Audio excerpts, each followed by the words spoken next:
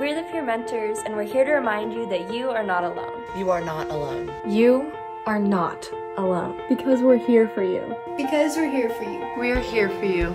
We're a group of students at Del Oro that are here to help. Especially in a time when everything is so uncertain, it's important to know we have someone to lean on if we need help.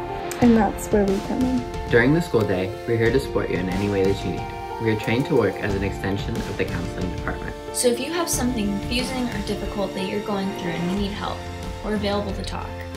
Our conversations are completely confidential unless there is a safety risk. So basically, it's private, so other students and your teachers won't hear about it. We're also here to help you connect resources outside of the peer mentoring program, such as how to find a tutor, how to buy a dance bid when we're finally allowed to do that again, how to talk to a teacher about a stressful project, or just connecting you to an adult who is trained to support students. We're, we're here for you. And we're all in this together. Together. Together.